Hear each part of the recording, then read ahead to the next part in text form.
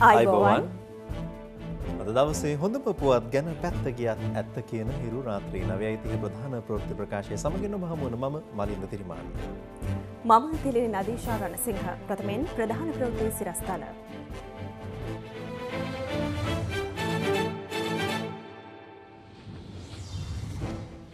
යහපාලනය වෙනුවෙන් ජනපති සිදු කරන කැපකිරීම ඇමරිකානු ජනපතිගේ පැසසුමට. පලාත්පාලන මැතිවරණය එළඹෙන මාර්තුමාසයේ පවත්වන බවට අග්‍රාමාත්‍යවරයාගෙන් සහතිකයක්. නව අයවැයකට පෙර අතුරු අයවැයේ සහන දෙන්න. ජවිපේ කියයි. හදවත්රෝග මැඩීමට සෞඛ්‍ය ඇමතිගෙන් අලුත් යෝජනාවක්. මුදල් අමාත්‍යංශයට කියන්න ඕන සීනි තෙල් සහ ලුණු ආශ්‍රිත දේවල්වලට බදු වැඩි කරන්න.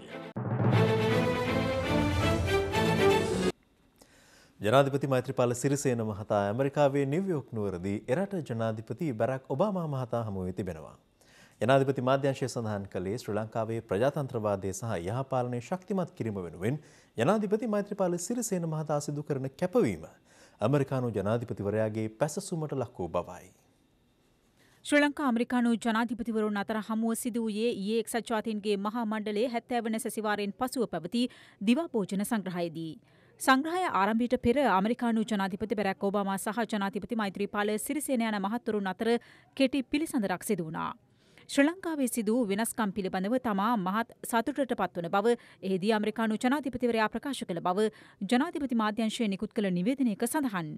ඉදිරියේදී රටේ සංහිදියාව ගොඩනැගීම තම අපේක්ෂාව බව සඳහන් කළ මෛත්‍රීපාල සිරිසේන මහතා මෙරට දිලිඳු බව තුරන් කිරීමට අමරිකාවේ සහයද ඉල්ලා තිබෙනවා. ඊට පිළිතුරු දෙමින් අමරිකානු ජනාධිපති බැරක් ඔබාමා ප්‍රකාශ කර ඇත්තේ ඒ සඳහා අමරිකානු රජයේ පූර්ණ සහය ලැබෙන බවයි. සංග්‍රහය නිල වශයෙන් විවෘත කළ එක්සත් ජාතීන්ගේ මහලේකම් බෑන් කිමුන් මහතා අසුන් ගත්තේ ලොව ප්‍රබල නායකින් රැඳී සිටි මේසෙයි. අමරිකාව රුසියාව හා ඉන්දියාව ඇතුළු ලොව ප්‍රබල නායකීන්ට මෙන්ම ශ්‍රී ලංකා ජනාධිපති මෛත්‍රීපාල සිරිසෙන මහතාටද එම මේසීම අසුනක් වෙන්ව තිබුණා. සංග්‍රහය අතරතුරදී එක් සජාතින්ගේ මහලේකම් බෑන් කිමුන් මහතා ප්‍රකාශ කර ඇත්තේ ජනාධිපති මෛත්‍රීපාල සිරිසේන මහතා අද ලෝක නායකින්ගේ ප්‍රසාදයට පත් වූ රාජ්‍ය නායකයෙක් බවයි. මේ අතර ජනාධිපති මෛත්‍රීපාල සිරිසේන මහතා එක් සජාතින්ගේ සාමසාධනය පිළිබඳ සමුළුවටද ඊයේ පසරුවේ එක් වුණා. සමුළු ඇමතීමට පෙර ජනාධිපති මෛත්‍රීපාල සිරිසේන මහතා අසුන්ගෙන සිටි ස්ථානයට පැමිණි අමරිකානු ජනාධිපති බරක් ඔබාමා ජනාධිපතිවරයාට සුබ පැතුමෙක් කළේ මේ ආකාරයෙන්. එක්සත් ජාතීන්ගේ සාම සාධනය සඳහා ශ්‍රී ලංකාවේ වර්තමාන දායකත්වය බටපිරිස් යුද නිරීක්ෂකයින් සහ සිවිල් පොලිස් කණ්ඩායම් ද ඇතුළුව පන්සිය විසි නව දෙනෙක් දැන්ට සේවේදී සිටිනවා. මේ අවස්ථාවේදී එක්සත් ජාතින්ගේ සාමසාධනය සඳහා ශ්‍රී ලාංකික දායකත්වය වැඩිකිරීමට සම්පූර්ණයමා කැපවන බව ප්‍රකාශ කිරීමට සතුටුයි. සාමසාධනය ඉහළම සම්මතයකින් සුරැකීම පිණිස සාමසාධනය යොදවන ශ්‍රී ලාංකකින් හට විශිෂ්ට පුහුණුවක් ලබාදීමටත් ඔවුන් ඉහළ මට්ටමින් ඇගීමට ලක්කිරීමටත් අපි කැපවී සිටිනවා. ජනාධිපතිවරයා අනතුරුව එක් වූයේ නවසිලන්තා ග්‍රාමාතය ජෝන් කී මහතා සමඟ විපර්ශය සාකච්ඡාවකටයි. සජාතින්ගේ හැත්තෑවන මහමණ්ඩල සැසිවාරයේ දෙවන දිනේ ප්‍රථමාදීරයේ කටයුතු මෙවනට නිමාවට පත්ව තිබෙනවා. රටවල් කීපයක රාජනායකයින් මෙවන විට සැසිවාරය අමතා අවසන්. එක්සජාතින්ගේ හැත්තෑවන සංවත්සරයට සමගාමීව මෙම සැසිවාරය පවත්තු නිසා දෙස් විදෙස් ජනමාධ්‍යවේදීන්ගේ දැඩි අවධානය මෙම සැසිවාරය වෙත යොමු තිබෙනවා. ශ්‍රී ලංකා ජනාධිපති මෛත්‍රීපාල සිරිසේන මහතා හෙට දවසේදී මෙම සැසිවාරය ඇමතීම නියමිතව තිබෙනවා. මම හිෂාන් වැල්මිල්ල හිරු ප්‍රවෘත්ති වෙනුවෙන් ඇමරිකාවේ නිව්යෝක් නුවර සිට එළඹෙන මාර්තු මාසයේ පැවැත්වීමට නියමිත පළාත් පාලන මැතිවරණය කල් දැමීමේ කිසිදු සූදානමක් නැතැයි අග්‍රාමාත්‍ය රනිල් වික්‍රමසිංහ මහතා අවධාරණය කරනවා. අද කොළඹදී පැවති සම්මන්ත්‍රණයකදී අග්‍රාමාත්‍යවරයා ප්‍රකාශ කළේ එම මැතිවරණය රජයේ ඉදිරි වැඩපිළිවෙලට කිසිදු බාධාවක් නොවන බවයි. දවසේ පුවත. ශ්‍රී ලංකා කළමනාකරණ ආයතනයේ සංවිධාන කරන වාර්ෂික සම්මන්ත්‍රණය අද කොළඹදී පැවැත්වුණා. යහපාලනයේ සහ ක්‍රමෝපායන් යන තේමාව යටතේ පැවති සම්මන්ත්‍රණයේ ප්‍රධාන දේශනය සිදු කළේ අග්‍රාමාත්‍ය රනිල් වික්‍රමසිංහ මහතායි.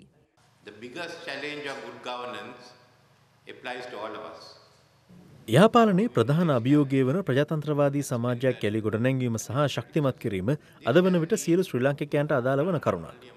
ශ්‍රී ලාංකිකයන් පමණක් නොවෙයි ජාත්‍යන්තර ප්‍රජාවත් මේ පිළිබඳව සාකච්ඡා කරනවා. පසුගේ සිකුරාදා අපේ සම අනුග්‍රහකත්වය යටතේ ඉදිරිපත් කෙරුණු ඒ වගේම අප ක්‍රියාත්මක කළ යුතු යෝජනාවට ප්‍රධාන වශයෙන් පදනම වන්නේත් ශ්‍රී ලංකාව තුළ පූර්ණ ප්‍රජාතන්ත්‍රවාදී සමාජයක් ස්ථාපිත කිරීමයි.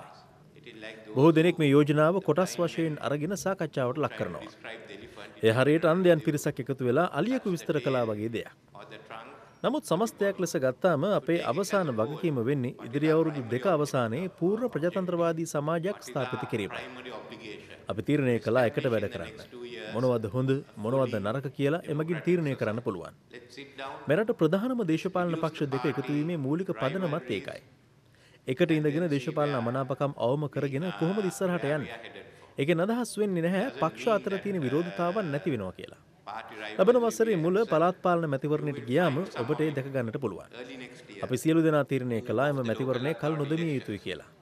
මොකද පළාත් පාලන ආයතන වලට නව පරපුරක් අවශ්‍ය වෙනවා. ඒ වගේම අපි තීරණය කරලා තියෙනවා එම මැතිවරණයට වෙන වෙනම තරඟ කළ යුතුයි කියලා. කොහොම වුණත් ලබන වසරේ මාර්තු මාසයේ අවසන් වන විට ඒ සියල්ල අවසන් කරන්නයි අපේ බලාපොරොත්තුව. by March next year. මේ අතර අග්‍රාමාත්‍ය රනිල් වික්‍රමසිංහ මහතාගේ පියාණන් වන එස්මන් වික්‍රමසිංහ මහතාගේ තිස්වන ගුණානුස්මරණය නිමිත්තෙන් සංවිධාන කළ එස්මන් වික්‍රමසිංහ නිදහස් මාධ්‍ය සඳහා වූ සම්මානය ප්‍රදානය කිරීම අද පස්වරුවේ බණ්ඩාරනායක ජාත්‍යන්තර සම්මන්ත්‍රණ ශාලා පරිශ්‍රයේදී සිදු කෙරුණා. එඩ්මන් වික්‍රමසිංහ නිදහස් මාධ්‍ය සඳහා වූ සම්මානය එහිදී හිමි වුණේ උදයන් පුවත් පතටයි. ගිය දශකය තුළදි විශාල මාධ්‍ය මර්ධනයක් ඇති වුණා. විද්‍යුත් මාධ්‍යයටත් මුද්‍රිත මාධ්‍යයටත් ඒකට මුහුණ දෙන්න තිබුණා. සමහර මුද්‍රණාල වහන්ට සිදු වුණා. මාධ්‍යවේදීන් ගණනාවක් මරුමුවටපත් වුණා. සිවිල් සමාජය මේ සටන් වලට බෙදුණ මාධ්‍ය එක්ක බොහෝ දෙනෙක් යෝජනා කරා මාධ්‍ය නිදහස ආරක්ෂා කරන්නට පෙනී සිටි අයට ආධාර උපකාර කරන ක්‍රමයක්. ඉතින් මම යෝජනා කරා එහෙනම් අපි ලෑස්ති උදව් කරන්න. මගේ පියාගේ නමින් අපි මේ සමුරුව ලබලා දෙන්න. මේක ඉදිරියට ගෙනියන එක මගේ වැඩ කටයුත්තක් අපේ පවුලේ වැඩ කටයුත්තක් නෙමෙයි. ඒක සිවිල් සමාජයයි මාධ්‍යයයි බාර අරගෙන වැඩ කටයුතු කරන්න. මං හිතන්නේ ඒකට මට අත ගහන්න පුළුවන් කියලා විධායකයට විශේෂයෙන්ම සම්බන්ධ වුනේ නැද්දි? දවසේ පුවත ඇමරිකාව ජිනිවා මානහිමිකම් කවුන්සිලයට ඉදිරිපත් කර ඇති යෝජනාවට ශ්‍රී ලංකාව සහය ලබා දීම සම්බන්ධයෙන් අද පැවති මාධ්‍ය හමුවකදී අදහස් පළ වුණා. මෙම මාධ්‍ය හමුව පැවැත්වුණේ නාරාහෙන් පිට අභයාරාම විහාරස්ථානයේදී. මෙම මාධ්‍ය හමුව සඳහා පාර්ලිමේන්තු මන්ත්‍රීවරුන් වන දිනේශ් ගුණවර්ධන විමල් වීරවංශ බන්දුල ගුණවර්ධන කුමාරවෙල්ගම උදය ගම්මන්පිල වාසුදේව නානායක්කාර යන මහතුරුන් සහ මහාචාර්ය තිස්ස විතාරණ මහතා එක්ව සිටියා. ශ්‍රී ලංකාවේ ජාතික නිදහස ස්වාධීනත්වය ස්වෛරීත්වය ආරක්ෂා කිරීමට පසුබට වී එය තමන්ගේ ප්‍රතිවිරුද්ධ ඇමරිකානු යෝජනාවට හවුල්වීමෙන් කෙරෙන්නේ විශාලතම පාවාදීම. එනිසා මේ යෝජනාව හවුල්කාරී නොවන ලෙස මේ අන්තිම පැහැදිත් ආණ්ඩුවට බල කර සිටිනවා. මේ යෝජනාට අපි හවුල්කාරී වී ඡන්දය අපිම පාවිච්චි කරොත් ලෝකයේ ඕනෑම රටක ශ්‍රී ලංකාවේ හමුදාංකවල කටයුතු කළ අය හෝ දේශපාලඥයන් හෝ රජයේ නිලධාරීන්ව අධිකරණයට ගෙනෙන්න හෝ රටෙන් පිටමං කිරීමේ නියෝග ගන්න හෝ අත්අඩංගුවට ගන්න පුළුවන් වෙනවා. අපගේ උගත් පාඩම් කොමිසම ලෝකයේම පිළිගෙන තිබියදී ගතයුතු විවිධ පීවරයන් ගැන නිර්දේශ ඉතා පැහැදිලිව තිබියදී ඒ ඉටු කිරීමට මැදිහත් නොවෙමින් ජාත්‍යන්තර මැදිහත් වීමකට මේ පාවාඩේ එලන්නේ කුමක් සඳහාද යන්න මේ පාලකින් පැහැදිලි කළ යුතුයි. අපට කළ හැකිව තිබුණු දේ ජාත්‍යන්තර බලයකට බාර කිරීමේ හේතු යුක්තිය කුමක්ද කියා මේ රටේ ජනතාව අසනවන් වනුමානයි. පිළිගත නොහැකි ආකාරයේ සාක්ෂි මත පදනංව ඇමරිකා එක්සත් ජනපදයේ වාර්තාවක් ඉදිරිපත් කළා තියෙනවා. දේශීය යාන්ත්‍රණයේ මුවාවෙන් ක්‍රියාත්මක කරන්නට හදන ඇමරිකන් අධිරාජ්‍යවාදී වැඩපිළිවෙල පරාජය කිරීම සඳහා මේ රටේ කෘතවේදී ජනතාව පෙළගැසිය යුතුයයි අපි විශ්වාස කරනවා. මක්නිසා දෙයක් රටේ සියලුම දෙනාට ජීවත්වීමේ අයිතිය ලබාදීම වෙනුවෙන් කැපවෙච් රණවිරුවන් හා දේශය වෙනුවෙන් කැපවෙච්ච ජාතික නායකයන් අපි විසින්ම පාවා දෙන්න හදන තත්ත්වයක් අපි තරයේ එලා දකිනවා. මේ බටහිර අධිරාජ්‍යවාදීන්ට ලංකාවේ අභ්‍යන්තරයට ඇඟිලි ගහලා අතපෝලා මේක මෙසේ කිරීමෙන් හමුදාව බිල්ලට දෙනවා විතරක් නෙවෙයි. රාජ්‍යයේ ස්වෛරී භාවය බිල්ලට දෙනවා විතරක් නෙවෙයි. මේකේ අතුරු ප්‍රතිඵලයක් හැටියට අපේ රටේ අනාගතය නැවත ගැටුම් බහුල එක ත්‍රස්තවාදයක් නෙවෙයි. ත්‍රස්තවාදී කණ්ඩායම් තුන හතරක් එකිනෙකා මරා ගන්න අනාගතයකට මේ රට අරගෙන යනවා. මේ විශේෂ අධිකරණය පිහිටුවනවද නැද්ද කියලා මේ රටේ ජනතාවට තීරණය කරන්න ඉඩ දෙන්න. ජනමත විචාරණයකට මේක ගේන්න. එහෙම නැතුව පාර්ලිමේන්තුවේ ඇමති කටු 130 ගාණක් බෙදා හරලා ඒවට වහල් වෙච්ච අවනත වෙච්ච අයගෙන් මේකට අත උස්සගෙන මේ අපරාධ කරන්න දෙන්න එපා. මේ අතර කොළඹ වරායේ ජාතික සේවක සංගමය සංවිධාන කළ උත්සවයකට එක්වමින් අමාත්‍ය අර්ජුන රණතුංග මහතා මෙලෙස අදහස් පළ කළා. බලේ නැති සමහර අය මොන දේවල් කිව්වා. අද ජාත්‍යන්තරයේ අපි විශාල ජයග්‍රහණ ලබාගෙන තියෙනවා. ජාත්‍යන්තර පරීක්ෂණය දේශීය පරීක්ෂණයකට ගේන්න පුළුවන්. නායකයෝ දෙන්නෙක් මේ රටට ලැබීම ලොකු වාසනාවක්. දංගෙඩියට යනවා කියලා කෑ ගහපු අයට නම් වලට තියෙන්න තිබුණේ මහින්ද රාජපක්ෂ මහත්තයාගේ, ගෝඨාභය රාජපක්ෂ මහත්තයාගේ, සරත් වංශක මහත්තයාගේ, කරන්නාගොඩ මහත්තයාගේ වගේ නම් ටික. අද මහින්ද මහත්තයාලව ගෝඨාභය රාජපක්ෂලා බේරගෙන තියෙන්නේ මෛත්‍රීපාල සිරිසේන මහත්තයයි රනිල් වික්‍රමසිංහ මහත්තයා කියන එක අමතක කරගන්න. ඉස්සර අපිට කියනවා මොනවද කරන්න කියලා ජාත්‍යන්තර. අද අපි යෝජනා කරමු. අද ජාත්‍යන්තරේ අපි මිතුරන් බවට පත් වෙනවා. ශ්‍රී ලංකාව සම්බන්ධයෙන් වූ අමරිකානු යෝජනා තවදුරටත් සංශෝධනය වනු ඇති බව අමාත්‍ය එස්.බී. දිසානායක මහතා පවසනවා. අමාත්‍යවරයා සඳහන් කළේ මෙම යෝජනා සම්බන්ධයෙන් අමාත්‍යවරයා සමග ශ්‍රී ලංකා නිදහස් පක්ෂ මන්ත්‍රීවරුන් පුළුල් සාකච්ඡාවක් පැවැත් වූ බවයි.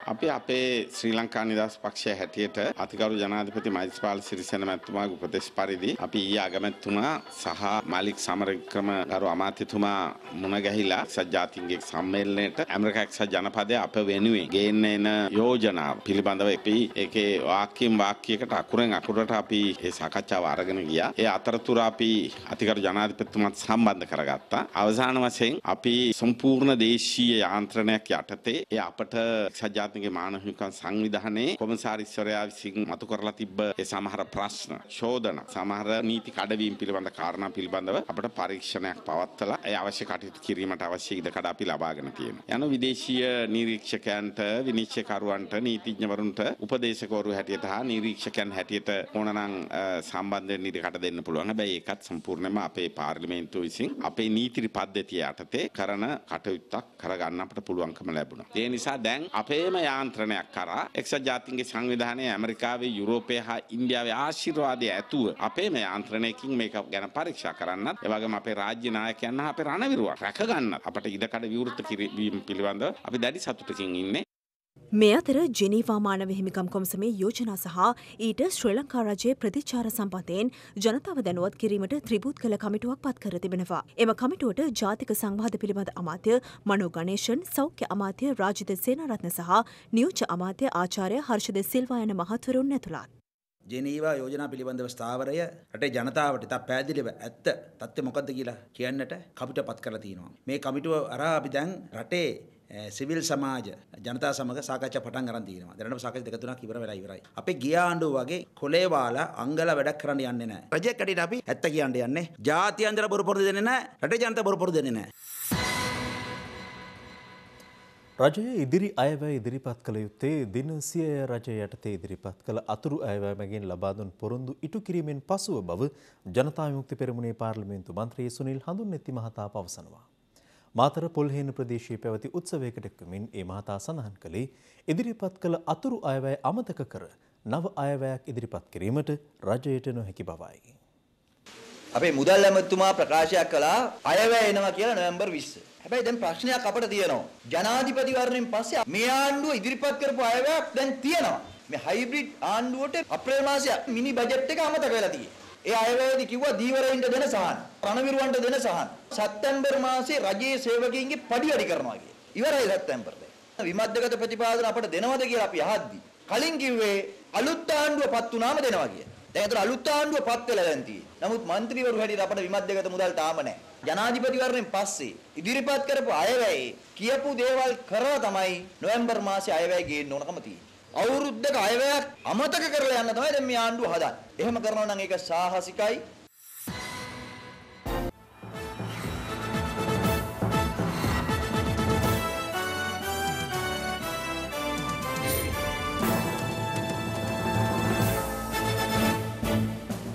ඔබ නැවතත් හිරු ප්‍රවෘත්ති සමගේන.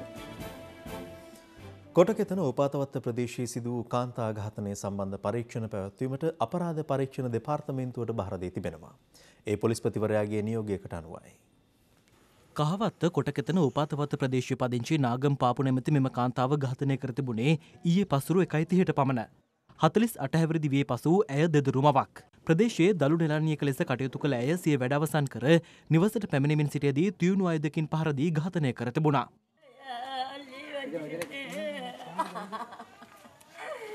අපි නෙන්ද තම බලටින් දල් කොල්ල තියෙන පල්ලයා. නෙන්ද කිව්වා මේ දළුව මඩුවට ආව නැහැ කියලා. ඊට පස්සේ අපි අයියායි ඔක්කොම බුදුරජාණන් බලනකොට මේ ලේ තිබුණ පාරකදී. බලනකොට උඩට යනකොට අම්මා මේ කපලා දාලා තිබුණා. කාටක කරද දෙන්නෙත් නැහැ කචලට යන්නෙත් නැහැ තරව කවුරුත් නැහැ කියන්නේ. මහේස්ත්‍රාත් පරීක්ෂණ ඊයේ රාත්‍රියේදී පැල්මඩුල්ල මහේස්ත්‍රාත් දිනේෂ් ලක්මාල් පෙරේරා මහතා විසින් සිදු කළ අතර ඉන් අනතුරුව දේහය පශ්චාත් මරණ පරීක්ෂණය සඳහා රත්නපුර මහරෝහලට රැගෙන ගියා.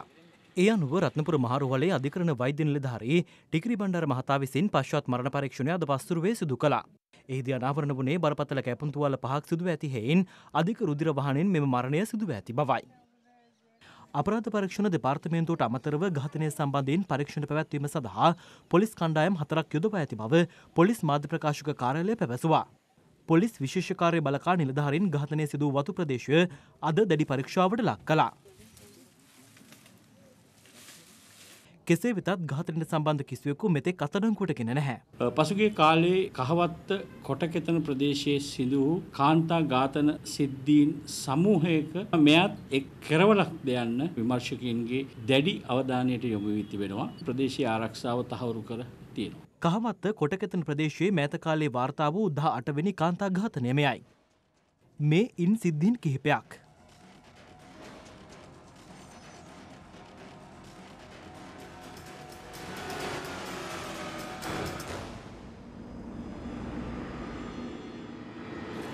ආසන්නතම සිදුවීම මේ වසරේ අප්‍රේල් මාස පස්වනදා කාන්තාවක් කපාකොටා ඝාතනය කිරීමයි. ඒ සම්බන්ධයෙන් ඇගේ පුත්‍රයා සැකපිට අත්අඩංගුවට ගත්තා. මෙම කාන්තා ඝාතන සැලකිල්ලට ගනිමින් ප්‍රදේශයේ පොලිස් මුරපල දෙකක්ද ස්ථාපිත කළා. එවන් පසුබිමක සිදූ මෙම කාන්තා ඝාතනය සමග ප්‍රදේශවාසීන් තුළ යළිත් බියක් හටගෙන තිබෙනවා. රට කියලා එන ගමන් මේ වගේ සිද්ධියක් වුණාන් පස්සේ ඒගොල්ලෝ පීඩනයට වැඩි වෙනවා නේ. Tamanට ජීවත් වෙන්න බැරි තත්ත්වය කියලානේ ඒගොල්ලෝ කියන්නේ. ඒ හින්දා ළමයිනොත් මේ පීඩනය මැද්දේ ඉස්කෝලේටවත් එන්නේ ඉස්කෝලේට යනකොටත් මේ වෙන්න පුළුවන් කියලා මතයක් තියෙනවා. දැන් අවුරුදු ගාණක් මේක වෙනවනේ. ඒ මොගියුත් එහෙම පාසලට ළමයි අඩුයි. මේ වගේ පරිසරයක ඉන්න මිනිස්සුත් අපවස්ථාවයට පත් වෙනවා. අනිත් එක මේ ගම හතරලා යන්න තමයි ගොඩක් වෙලාවට ඉතලා දෙන්නේ. දැන් අපිත් මේ පාරේ යන්න එන්නත් ගොඩක් බයෙන් තමයි යන්න එන්නේ. අපිට ආරක්ෂා දෙන්න කියලා තමයි අපි ගොඩක් මේවා වෙන්නේ. මෙම ඝාතන සිද්ධියට පෙර දිනේ අමාත්‍ය WDJ සෙනවිරත්න මහතා කොටකතන ප්‍රදේශයේ පැවති උත්සවයකදී දැක්වුවේ මෙවැනි අදහසක්. මේක ඉතාමත්ම අවාසනාවන්ත අහිංසක කාන්තාව ගණනාවක් මිය ගියා කාලකන්ණි මිනිස්සු දෙන්නෙක් උතුම් දෙනෙක් නිසා. ඉතින් මේව අල්ලගෙන මට මඩ ගහන්න මම මිනිස්සෙක් නෙවෙයි මම කූඹියක මරන්න නෙවෙයි මම උදව්වක් කරන කෙනෙක් නෙවෙයි එවැනි දේවල් වලට මේ නිසා තමයි මේ ගමත් මාවත් ටිකක් ඈත් සීනි තෙල් සහ ලුණු ආශ්‍රිත නිෂ්පාදන සඳහා පනවා ඇති බදු ඉහළ දමන්නයි මුදල් අමාත්‍යංශයෙන් ඉල්ලීමක් කරන බව සෞඛ්‍ය අමාත්‍ය රාජිත සේනාරත්න මහතා පවසනවා. අදට යෙදෙන ලෝක හදවත් දින නිමිත්තෙන් කොළඹ පැවති වැඩසටහනකට එක්වෙමින් අමාත්‍යවරයා මේ බව සඳහන් කළා. ලෝක ජනගහනයෙන් වසරකට මිලියන හැටකට අධික පිරිසක් මරණයට පත්වන අතර ඉන් තුනෙන් දෙකක් සිදුවන්නේ බෝ නොවන රෝග හේතුවෙන්. ශ්‍රී ලංකාවේද වසරකට සිදුවන මරණ එක්ලක්ෂ විසි හයිදහසෙන් තුනෙන් දෙකටම හේතුවන්නේ බෝ නොවන රෝග බවට පරීක්ෂණවලින් අනාවරණ වී තිබෙනවා. දෙදහස් තුලා වසරේ රජයේ රෝහල්වලට ඇතුළත් වූ එක් ලක්ෂ හාරදහසක් වූ හර්ද රෝගීන්ගෙන් මියගිය හා රෝහලට ඇතුළත් කිරීමට පෙර මියගිය මුළු ගණන තිස් දහසකට අසන්නයි. දුම්බීම නුසුදුසු ආහාර රටාව ව්‍යයාමවලින් නැතිවීම මානසික ආතතිය යන සාධක හර්ද රෝගවලට ප්‍රධාන හේතු බවට හඳුනාගෙන තිබෙනවා. හදට සුවදෙන අහර පිරි දෙරණක් යන්න තේමා කරගනිමින් ලෝක හදවත් දිනිය අද පෙරවරුවේ සෞඛ්‍ය අමාත්‍ය රාජිත සේනරත්න මහතාගේ ප්‍රධානත්වයෙන් කොළඹ බණ්ඩාරනායක අනුස්මරණ සම්මන්ත්‍රණ ශාලා පරිශ්‍රයේදී පැවැත්වුණේ ඒ පිළිබඳ දැනුවත් කිරීම සඳහායි. හදවතට සුවේ සලසන ආහාර වේලක් සකස් කරගන්නා ආකාරය පිළිබඳවද මෙහිදී දැනුවත් කෙරුණා. එහිදී සෞඛ්‍ය අමාත්‍යවරයා පැවසුවේ සෞඛ්‍ය සම්පන්න ආහාර රටාවක් ජනතාවට පුරුදු පුහුණු කිරීම අත්‍යවශ්‍ය බවයි. රටවට කර වැට බැන්දත් කටවට කර වැට බඳින්න බෑකි. කට අපිට කන්ට්‍රෝල් කරන්න පුළුවන් නම් ලෙඩ රෝග ඔක්කොම හරියනවා. මුදල් අමාත්‍යාංශයට කියන්න ඕනේ සීනි තෙල් සහ ලුණු ආශ්‍රිත දේවල් වලට බදු වැඩි කරන්න. අපි WHO එකත් එක්ක කතා කරගන්නේ එක ක්‍රමයක් තමයි අපි මේවටත් බදු වැඩි කරන්න. දේශපාලන වශයෙන් ප්‍රශ්න අපිට ඇති වෙයි. හැම අමාත්‍යාංශයකම ෆිට්නස් සෙන්ටර් එකක් තිබිය යුතුයි. මම නම් අනිවාර්යයෙන් කරනවා සෞඛ්‍ය අමාත්‍යාංශේ කොහේ හරි හදලා දැන් පැයක් මේකේ වැඩ කරන්න ඕනේ කැමති වුණා හෝ අකමැති වුණා. ඒ අනුව තමයි ප්‍රොමෝෂන් හම්බ වෙන්නේ. ගිරාන්දුරකෝට්ටේ ගොවින් පිරිසක් අද මහියංගනයේ පොළොන්නරුව ප්‍රධාන මාර්ගය අවහිර කරමින් විරෝධතාවක නිරත වුණා. ඒ වී අලවි මණ්ඩලයේ තම වී මිලදී ගැනීම නතර කර දමා ඇති බවට චෝදනා කරමින්. මහවැලිසි දෙවන කලාපය යටතේ ගම්මානදා හතක ගොවීන් සිය වී අස්වනු අලිවි කරනු ලබන්නේ ගිරන්ත්‍රකෝටේ නගරයේ පිහිටි වී අලිවි මණ්ඩලයේ සතු ගබඩාවටයි. කෙසේ වෙතත් පසුගේ දහටවැනිදා සිට එහි වී මිලදී ගැනීම නතර කර දමා ඇති අතර ඒ හේතුවෙන් ගොවීන් දැඩි අපහසුතාවට පත්ව සිටිනවා. තම ගැටලුවට විසඳුම් නොලැබුණු දැන ගිරන්ත්‍රකෝට්ටේ වී ගොවීන් අද විරෝධතා ව්‍යාපාරයක නිරත වුණා. ඒ මහියංගන පොළොන්නරුව ප්‍රධාන මාර්ගය ගිරන්ත්‍රකෝට්ටේ ඉන්දනහල ඉදිරිපිටින් අවහිර කරමින්. මම කියනවා නෙවි ගන්න කියලා. ඔබතුමාගේ බුදුරත් බොක්කේ දඩම. ඔබතුමාගේ බල්ලගේ මොන දාන්නේ මොකද මේ? මගේ ගෝලෙලි දැන් පුරනවා විතරයි කරන්නේ කුකේ වැඩ කටින් විතරයි. ඒක දමතුමා. ලැජ්ජයි අමතුමා. ලැජ්ජයි ලැජ්ජයි. අටේ ඉන්න පෙරාරේ ඉන්න අලිට ඔබතුමාලත් තනමුරු ගන්නවා. මේ කැලේ ඉන්න මේ මිනිස්සු පහ කරලා මරනවා. ඔවුන් අලවිකර ගැනීමට නොහැකි වූ තම වී අස්වනුද එම ස්ථානයට ගෙනවිත් විරෝධතාවයේ නිරත වුණේ මේ ආකාරයෙන්. මේ වීටි ගෙට ගන්න. මොන දහදුවක් වෙලා තියෙනවා ගොයියෝ? ජීවිත පූජා කරලා තියෙනවා. කාන්තාව දෙන්නෙක් ඉන්නවා. ඒ කාන්තාව දෙන්නාගේ ස්වාම්පුරු සල්ලිපා කරලා මරලා සල්ලි නැතුව තුන් මාසෙ දාන දෙන්න වීටි විකුණන්න මෙතෙන් ඇවිල්ලා ඉන්නවා. දැන් ඒ දිනත් පැනලා තුන් මාසෙ දානේ ගොයියට සලකන්නේ ඕමද මහත්තයා රජයක් වශයෙන්? මේ වීටික දෙන්න බැරුන් දැන් දවස් 10ක් 15ක් වෙනවා මේ ගබඩාවට වෙලා. හැමතුමාට කතා කරමු කියනවා හෙට ගන්නවා කියනවා අනිද්දා ගන්නවා කියනවා. කඩවලින් මිනිස්සු බඩු දෙන්නෙත් නැහැ සල්ලි ගෙවනකම් අපි කොහොමද මහත්තයා මේ රුපියල් 20 22කට වී දීලා කඩු කඩකාරයාගේ ණය ගෙවන්නේ? පෙරවරු එකොළහට පමණ ආරම්භ වූ විරෝධතාව පස්වරුව වනතෙක්ම පැවති අතර ඒ හේතුවෙන් එම මාර්ගයේ රථවාහන ධාවනය සම්පූර්ණයෙන්ම ඇන හිටියා. අනතුරුව පස්වරුවේ ගිරන්ද්‍රකෝටේ පොලිස්ථානාධිපතිවරයා එම ස්ථානයට පැමිණ ප්‍රාදේශීය ලේකම්වරයා දුරකථනය ඔස්සේ සම්බන්ධ කරගත් අතර ඔහු අදාළ ගැටලුවට දින දෙකක් ඇතුළත විසඳුමක් ලබා දෙන බවට වූ පොරොන්දුව මත පිරිස විසිර ගියා. පානතුර ප්‍රදේශයේ පෞද්ගලික බැංකුවක අය කැමිවරයක් බියට පත්කර මුදල් කොල්ලකා පලාගිය පුද්ගලයකු අතරංගොට ගැනීමට පොලිස් නිලධාරියකු සමත් වුණා. අදාළ පුද්ගලයා කොල්ලකාගත් මුදල රුපියල් ලක්ෂ පහක්. පානදුර ප්‍රදේශයේ පෞද්ගලික බැංකුවක් වෙත ඊයේ පස්වරු පහයිතිහට පමණ පැමිණ ඇති පුද්ගලයෙකු එහි අයකැමිවරියක් වෙත මුදල් තැන්පත් කිරීමේ රිසිට් පතක් ඉදිරිපත් කරන ආකාරය බැංකුවේ ඇති ආරක්ෂිත කැමරාවේ සටහන තිබුණේ මේ ආකාරයෙන්.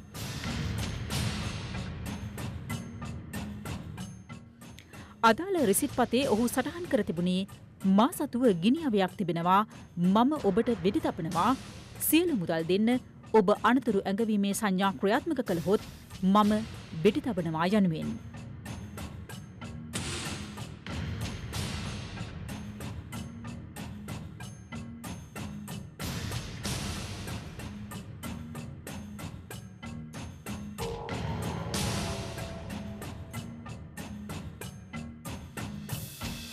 කෙසේ වෙතත් පැහැරගත් රුපියල් ලක්ෂ පහක මුදල සමග පලාගිය පුද්ගලයා බැංකුව ආසන්නයේ සේවයේදී සිටි පාන්දුර පොලිසිය නිලධහරයෙකු අතනගුට ගැනීමට සමත් වී තිබෙනවා. මෙලෙස අතනගොටගත් පුද්ගලයා කොළඹ මාලිකාවත ප්‍රදේශයේ පදිංචි විසි හතර හැවරදි තරුණෙක්. පොලිසිය පැවසුවේ ඔහු සතුව ගිනියවයක් නොතිබූ අතර මෙම තරුණයා මොස්කව විශ්වවිද්‍යාලයේ වෛද්‍ය විද්‍යාව හදාරා දෙදහස් එකුළහ වසරේ මෙරටට පැමිණ ඇති බව ප්‍රශ්න කිරීම්වලදී අනාවරණය වූ බවයි.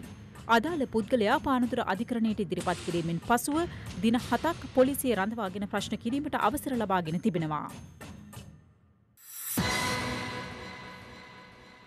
වර්ෂාපතනයේ ඉදිරි පැය විසි හතර තුළත් අකණ්ඩව පැවතුනහොත් දිස්ත්‍රික්ක හයක නායෑමේ සහ පස් කණ්ඩි කඩා වැටීමේ අවදානමක් පවතින බව ජාතික ගොඩනැගිලි පර්යේෂණ සංවිධානය පවසනවා. එම අවදානම් සහිත ප්‍රදේශ හඳුනාගෙන ඇත්තේ බදුල්ල, නුවරඑළිය, කළුතර, ගාල්ල, මාතර හා හම්බන්තොට යන දිස්ත්‍රික්කවලයි. මෙතර ගංගා කිහිපයක ජල මට්ටම ඉහළ යාමත් සමග අදත් ප්‍රදේශ කිහිපයක් ජලයෙන් යට වී තිබුණා. ගිංගන්ගේ ජලමට්ටම ඉහළ යමින් පවතින අතර ඉන් වැඩි බලපෑමක් එල්ල වී තිබෙන්නේ බද්ධයගම ප්‍රාදේශීය ලේකම් කොට්ටාසයටයි. ගල්ල බද්ධයගම මාර්ගයේ බෙලිගන කහදුව වත්ත හා දංගෙදර යන ප්‍රදේශ ඊයේ රාත්‍රියේ සිට ජලයෙන් යට වී තිබුණා. නිල්වලා ගඟේ ජල මට්ටමද ඉහළ යමින් පවතින අතර ඉන් වැඩි බලපෑමක් එල්ල වී ඇත්තේ පානදුගම ප්‍රදේශයටයි. පොල්ලද මෝදර ගඟ පිටාරගලීමෙන් වැලිගම කොක්මාදුව මාර්ගය කොක්මාදුව ප්‍රදේශයෙන් යට වී තිබුණා. දක්ෂිණ අධිවේගී මාර්ගයේ කොක්මාදුව පිවිසුමත ජලගැලීම් වලින් අවහිර වූ අතර වාහන ගමනාගමනයට විකල්ප ස්ථානද භාවිත කළා. කාලකුණ විද්‍යා දෙපාර්තමේන්තුව අනාවැකි පළ කරන්නේ නිර්දදිග මෝසමත් සමග දකුණු බස්නාහිර සහ සබරගමුව පළාත්වලට පෙරවරුවේ සිට ඇදහැලෙන වර්ෂාවේ අඩුවීමක් හෙට සිට දැකිය හැකි බවයි. නමුත් පසුරු කාලයේ එම පළාත්වලට ගිගුරුම් සහිත වැසි ඇතිවීමට තිබෙන ඉඩකඩ අඩුවී නොමැති බව එම දෙපාර්තමේන්තුව පැවසුවා. මේ අතර ඉදිරි පැය විසි හතර තුළ අකණ්ඩව වැසි පැවතුන හොත් බදුල්ල නුවරේලිය කළුතර ගාල්ල මාතර සහ හම්බන්තොට යන දිස්ත්‍රිකයන්හි නායා මැතිවිය හැකි බවට ජාතික ගොඩනැගිලි පර්යේෂණ සංවිධානය අද පස්වරුවේ අනතුරුවඟවීමක් කලා. බදුල්ල දිස්ත්‍රිකයේ අවදානම් සහිත ප්‍රදේශ ලෙස හඳුනාගෙන ඇත්තේ බදුල්ල බණ්ඩාරවිල ඇල්ල හල්දුමුල්ල හාලියල හපුතලේ පස්සර සොරනාතුට ඌව පරණගම හා වැලිමඩ යන ප්‍රාදේශලයකම් කොට්හසයි. නුවරලි දිස්ත්‍රික්කයේ සියලුම ප්‍රාදේශලයකම් කොට්හස නායාමේ අවධානමකට ලක් වී තිබෙනවා. කළුතර දිස්ත්‍රික්කයේ උස්පිම් සහිත ප්‍රාදේශලයකම් කොට්හස නායාමේ අවධානමක් පවතින බව ජාතික ගොඩනැගිලි පරීක්ෂණ සංවිධානය පවසනවා. ගාල්ල දිස්ත්‍රික්කයේ අවධානම් ප්‍රදේශ වන්නේ ඇල්පිටිය ඉමදුව යක්කලමුල ගාල්ල කඩවත් සතර නියගම නාගොඩ හබරදුව හා බද්ධිගම ප්‍රාදේශලයකම් කොට්හසයි. මාතර දිස්ත්‍රික්කයේ කොටපොල පිටබැද්දර අකුරැස්ස වැලිගම පස්කුඩ හා අතුරුල යන ප්‍රදේශ අවධානමකට ලක්ව තිබෙනවා. හම්පන්දොට දිස්ත්‍රික්කයේ නායාමේ අවධානමක් පැවතිය හැකි ප්‍රදේශ ලෙසට හඳුනාගෙන තිබෙන්නේ වලස්මුල්ල හා කටුවන ප්‍රදේශලයකම් කොටහසයි. ඉති අනතුරු හැඟවීමෙන් අදහස් කරන්න ඇ සියල්ලෝම එත්තැඟවල ඉවත්වේ යුතුයි කියලා. ආපදාවක් පැමිණියාම ආපදාවට උත්තර හොයනවට වඩා අපි බලාපොරොත්තු වෙන ඉදිරියේදී ආපදාවට පෙර අවශ්‍ය පූර්ව ක්‍රමවේදයන් අනුගමනය කරන්න. මෝගෙන් මිල්ලා හිටින්නේ කරුණා කරලා අවට පරිසරය ගැන සැලකිලිමත් වෙන්න. පරිසරයේ යම් කිසි තත්ත්වයක් ඇතිවුණොත් වහාම රක්ෂත් හස්ථාන කරා යන්න. තවත් දේශපවත් කිහිපයක් සමගින් දැන් රටවටා හිරු. රටවටා හිරු. එක්ස ජාතින්ගේ මහමණ්ඩලේ සැසිවාරයට සහභාගිවීම සඳහා අමරිකාවේ නිවියෝක් බලා ගොස් සිටින විදේශ අමාත්‍ය මංගල සමරවිර මහතා සහ ටෝකෝ ජනරජයේ අමාත්‍ය මහාචාර්ය රොබර්ට් ඩූසේ මහතා අතර පැවති හමුවේදී දෙරට අතර නිල රාජතාන්ත්‍රික සමඳතා ආරම්භ කිරීමේ ගිවිසුම් කිහිපයකට අත්සන් තැබුණා. ශ්‍රී ලංකාවේ අමරිකානු තානාපති අතුල් කේශාප් මහතා අද පස්වරුවේ මුදල් අමාත්‍යංශයේදී මුදල් අමාත්‍ය රවි කරුණානායක මහතා හමු වුණා. එහිදී මෙරට ඉදිරි කටයුතු සඳහා අකණ්ඩ සහාය ලබා දෙන බව අමරිකානු තානාපතිවරයා ප්‍රකාශ කර තිබෙනවා. මාධ්‍යවේදී ප්‍රගීත් එක්නැලිගොඩ අතුරුදන්වීමේ සිද්ධියට අදාළ නඩුව අද කොළඹ අභ්‍යාචනාධිකරණයේදී විභාගයට ගත් අතර එහිදී විනිසුරුවරයා එම නඩුවේ වග උත්තරකරුවන් වන ආරක්ෂක ලේකම්වරයා නීතිපතිවරයා සහ අපරාධ පරීක්ෂණ දෙපාර්තමේන්තුවේ අධ්‍යක්ෂවරයා ඇතුළු හත් දෙනෙකුට ලබන මස 9 වෙනිදා අභ්‍යාචනාධිකරණයේ ඉදිරියේ පෙනී සිටින ලෙස නියෝග කළා. කාර්යාල සේවකින් ප්‍රවාහනය කළ වෑන් රථයක් බණ්ඩාරගම ගල්තුඩේ ප්‍රදේශයේදී මාර්ගයේ නිවතට පැන සිදු අනතුරකින් කාන්තාවක් ජීවිතක්ෂයට පත් වුණා. වේයන් ගොඩ දඩගමු ඔයේ තරුණයන් පිරිසක් සමග දියනෑමට ගිය තරුණයෙකු ඊයේ පස්වරුවේ දියගිලි ජීවිතක්ෂයට පත්ව තිබෙනවා. ඔහුගේ සිරුර අද පස්වරුවේ ගොඩගත් අතර මියගිය තරුණයාගේ ඥාතීන් එම ස්ථානයට පැමිණීමත් සමග උණුසුම් තත්ත්වයක් ඇති වුණා. අනුරාධපුර ශික්ෂණ රෝහලෙන් බැහැර කරන අපවිත්‍ර ජලය පවිත්‍ර කරන ස්ථානයක තිබී මාස පහත් හයත් අතර පවට සැකගෙන බිලිඳු කලලයක් අද පෙරවරු වී හමු වී ඇත්තේ එහි පවිත්‍රතා කටයුතු වල නිරතව සිටි සේවකයන් පිරිසකටයි. රටවටා හිරු. දැන් ක්‍රඩාපුවත්. ක්‍රඩාලොලින් තිස් දහසකට අසුන් ගත හැකි ජාත්‍යන්තර මට්ටමේ ක්‍රඩාන්ගෙනයක් ඉදි කිරීම තම ප්‍රධානතම අරමුණ බව ඔලිම්පික් පදකම් ලාබේ සුසන්තිකා ජයසිංහ පවසනවා. දෙදා වසරේ සිඩ්නි ඔලිම්පික් කොල්ලේදී පදක්කමක් දිනාගෙන වසර පහළවක් සපරීම නිමිත්තෙන් පැවති විශේෂ මාධ්‍ය හමුවකදී ඇය මේ අදහස් පළ කළා. ඒ පසරුවේ පැවති මෙම මාධ්‍ය හමුවට සුසන්තිකාගේ ක්‍රඩාදිවීට නන් අයුරින් උපකාර කළ පුහුණුකරුවන් සහ පරිපාලකයන් ඇතුළු පිරිසක් දෙක්ව සිටියා. දෙදහස් පසරේදී ඔලිම්පික් පදක්කමක් ලැබීමෙන් වසර පහලවක් ගත වී ඇතත් තවමත් එවන් දස්කමක් කළ හැකි ක්‍රඩික ක්‍රඩිකාවන් බී නොවීමේ හේතුව ඇය පැහැදිලි කළේ මෙලෙසින්. අපේ පුහුණු සංචිත තියෙනවා අවුරුද්ධට රජයේ නිවාඩු පෝය නත්තල් නිවාඩු කාලනයේදී අපේ පුහුණු සංජිතය වහන හරි ක්‍රීඩා වෛද්‍යවරු නැහැ. ළමයිට ඉන්න කන්න අඩුම තරමේ ජාතියන්තර ප්‍රමිතියෙන් උසස් පිට්ටනියක් හදාගන්න බැරුව ගියා ලෝක පදක්කන් තුනක්. ගෙනාව මේ රටේ. මෙරට ක්‍රඩා පරිපාලකයන්ගේ දුරල ක්‍රියා කලාප පිළිබඳවත් සුසන්තිකා මෙහිදී අදහස් පළ කළා. අපේ මල්ල ක්‍රීඩා සංගමයේ තියෙනවා ජාතික ඔලිම්පික් කමිටුව තියෙනවා ක්‍රීඩා අමාත්‍යාංශයේ තියෙන අවුරුදු 20ක් පුරාවට සභාපතිවරු ලේකම්ව පත් වුණාව ගියා නමුත් කිසිවෙකුටත් බැරුව හරි හැටි කරගෙන යෑමේ ක්‍රීඩා ප්‍රඥප්තියක් ගෙනෙන්න. මම අවුරුදු 20ක් ක්‍රීඩා කරා. ක්‍රීඩා අමාත්‍යවරු හත් දෙනෙක් යටතේ අඩුම තරමේ සුගතදාස ස්ටේඩියම් එක නැවත ප්‍රතිසංස්කරණය කරන්නවත් බැරි වෙච්ච එක ගැන මම කනගාටුවටත් දුකටත් පත් වෙනවා සමස්ත ක්‍රීඩාව වෙනුවෙන්. ඇය වැඩිදුරටත් පැවසුවේ රටේ ක්‍රීඩා අනාගතය වෙනුවෙන් ඉක්මන් පියවරක් ගත යුතු කාලයේ එළඹ ඇති බවයි. මේක කවුරුත් කරනකම් බලන් ඉන්න බෑ. මට ඒ හැකියාව තියෙනවා. ක්‍රීඩාවෙන් සමු අරගෙන අද වෙනකොට අවුරුදු 6ක් රටට සේවය කරන්න කාලෙ දෙන්න ඇවි. මං කල්පනා කරා මගේ රටට ගෙනාව ජයග්‍රහණයට වඩා සේවයක් කරන්න සුසන්තිකා ජයසිංහ ඇකඩමියක් මේ රටේ ආරම්භ කරන්න. ක්‍රඩික ක්‍රඩිකාවන් පන්සේකට පමණ නේවාසිකව පුහුණුවම් කිරීම සඳහා නිර්මාණය වන මෙම ඇකඩමියට අවශ්‍ය මූල්‍ය ප්‍රතිපාදන සපයාගන්න ආකාරයත් සුසන්තිකා මෙහිදී පැහැදිලි කළා. සුසන්තිකා ජයසිංහගේ ජීවිත කතාව මගේ කතාව නමින් මම පොතක් ලිව්වා. මේක හරහා තමයි සුසන්තිකා ජයසිංහ ක්‍රීඩා පාසලේ සියලු පහසුකම් සම්පූර්ණ කරගන්න අපි බලාපොරොත්තු. ඒ විතරක් නෙමේ අවසාන වශයෙන් මම බලාපොරොත්තු වෙන්නේ මේ ඇකඩමිය හරහා අපේ රටට ජාත්‍යන්තර ක්‍රීඩාංගණයක් බිහිකිරීමේ පරමාර්ථය. ඒෂයන් ගේම්ස් එකක් වගේ තරගයක් තියන්න පුළුවන් පිට්ටනියක් ඉදිරි වසර පහ ඇතුළත කරනවා මයි කියන චේතනාවෙන් තමයි මේ සියලු කටයුතු සූදානම් කළේ. ශ්‍රී ලංකා දඟපන්දයාන ක්‍රඩක තරඳු කෞශාල්ගේ දුස්්‍රා පන්දුව ක්‍රාත්මක නිරියව්ව නීති විරෝධී බව ජගත් ක්‍රකට් කවන්සලේ තීරණය කර තිබෙනවා. ඒ ඉන්දියාවේ විශ්වවිද්‍යාලයකදී තරඳුගේ පන්දයමේ ඉරියව්ව පිළිබඳ සිදු කළ පරීක්ෂණයේ ප්‍රතිඵල නිකුත්වීමත් සමගයි. කෙසේ වෙතත් ඔහුගේ පිටදඟ පන්දුව නීත්‍යානුකූල ඉරියව්වකින් යුක්ත වන බැවින් ජාත්‍යන්තර තරගවලදී එම පන්දුව ක්‍රියාත්මක කිරීමට ඔහුට අවස්ථාව හිමි වෙනවා.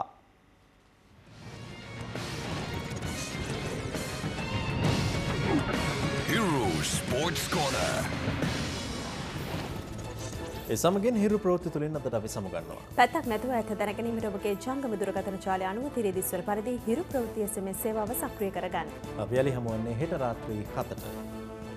Sıbır Adria.